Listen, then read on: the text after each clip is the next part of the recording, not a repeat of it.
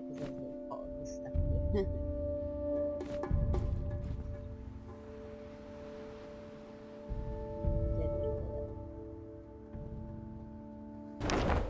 I often visited these gardens to relax and to admire the beauty of nature. The Dulmarians already separated and named all of the native herbs. I decided to keep their original names.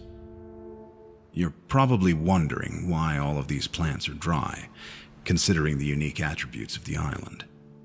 The truth is, they cannot wither naturally here, so I had to weaken them myself. It was necessary in order to force you to follow the path I've laid out for you. To be able to proceed, it is essential to find a way to revitalize these herbs. There's no reason to be worried. Just barely, but they are alive.